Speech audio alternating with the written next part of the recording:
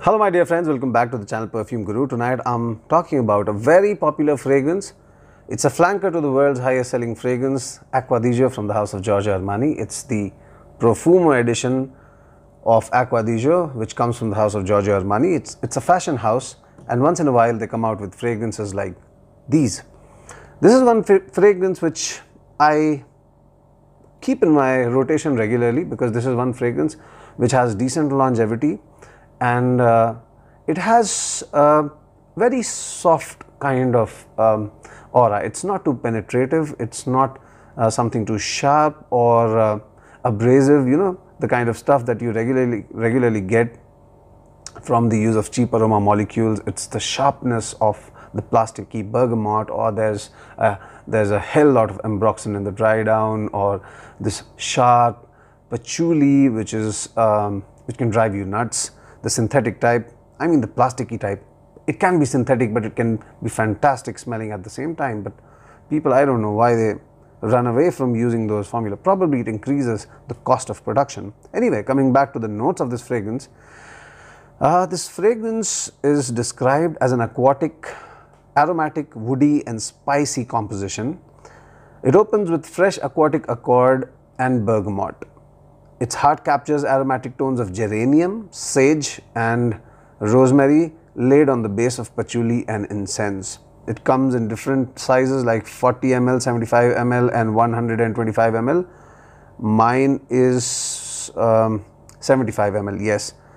So guys, how is this fragrance like? If you've tried the original Acqua di you would know or you would understand the basic structure of this fragrance. It's fresh, it's got uh, the sweetness of the ocean breeze. It's got slight saltiness at the top along with the bergamot. I would say for the price and uh, for the kind of uh, segment that this fragrance fits into, it's quite a surprise at the top. It's good quality. It's very, very decent quality.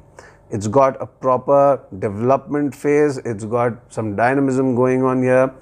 The dry down of it is fantastic with the touch of the oriental patchouli which is of a good quality. It will not give you the dank, the uh, incensey, woody or the complex lift of a natural patchouli of course, but it's a clean patchouli at the same time it also maintains the earthy incensiness. Of course with the addition of the sage and uh, the rosemary it it's got a slight peppery or spicy kind of touch which is a great touch and everything has uh, been done with um, um, with a sense uh, of uh, balance everything is very well balanced, nothing is screeching uh, and nothing is, uh, you know, coming out like an anomaly. Everything is very well fit together. That's what makes Acqua di Gio Profumo so interesting. Even though I love niche fragrances, I love uh, the complex natural scents, this fragrance never, never disappoints me lovely the opening is still lovely i mean my bottle is about two or three years old, I'm not really sure.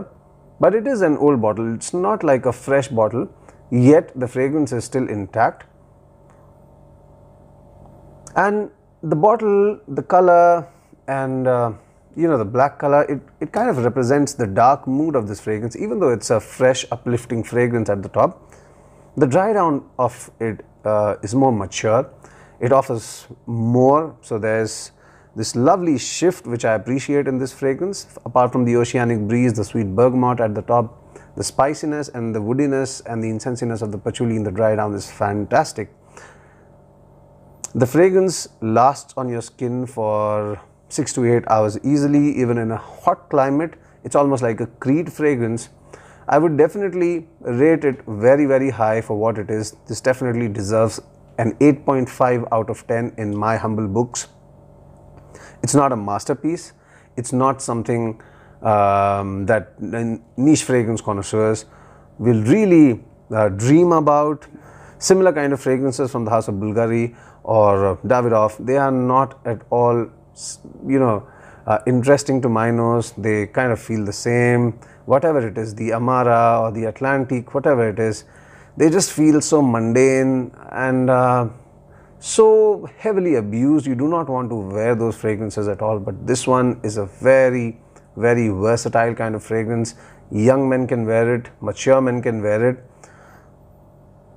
It's beautiful. Every time that I wear this fragrance, I get a lot of compliments, I get a lot of notice, which is also a unique thing with a designer fragrance of this cost. So if that's something that you look forward to, you'll be amazed by the by the attention that you get. Don't be shy of wearing this fragrance at all.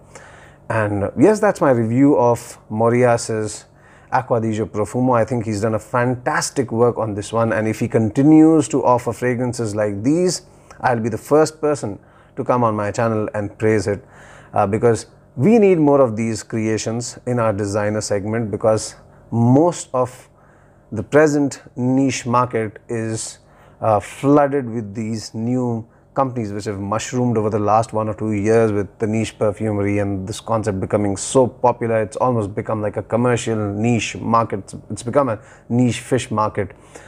And uh, that has also helped me to go back to let's say level 1 of perfumery and explore whatever is there uh, available in the more affordable segment um, uh, with uh, with good perfumers, works of good perfumers, they are still affordable. The House of Guerlain is still offering beautiful perfumes at a good price. So I think it's worth checking out guys and uh, please share your honest opinions and uh, uh, whatever your criticism criticisms of this fragrance. I would love to hear your thoughts uh, down in the comment section below. So see you guys. Until then, take care. Bye-bye.